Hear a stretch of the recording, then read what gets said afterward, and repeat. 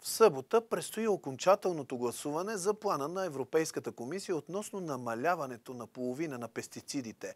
Екоорганизации и биостопани се опасяват, че представителите на земеделските министерства на страните членки ще блокират предложението, настоявайки Брюксел да представи допълнителна оценка на въздействието.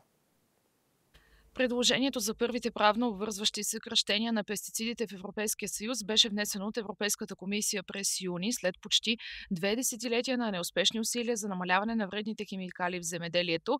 Едно евентуално забавене би означавало, че законодателството може да не бъде прието преди следващите европейски избори.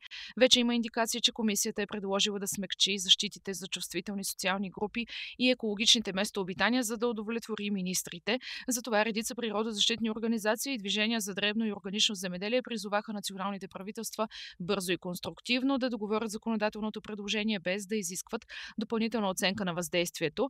За такава оценка настояват 17 държави, сред които и България, докато Германия, Франция, Испания, Харватия, Кипър, Белгия и Швеция са против. За спечелване на вода е необходимо квалифицирано мнозинство. Според Организацията за биоземеделие в Европа, 300 000 органични фермери доказват всеки ден, че моделите на земеделие като органични и други агроекологични екологични практики, които не използват синтетични торове и пестициди, могат да допринесат за опазването на биоразнообразието и в същото време да осигурят здравословна храна с най-добро качество и достатъчно количество.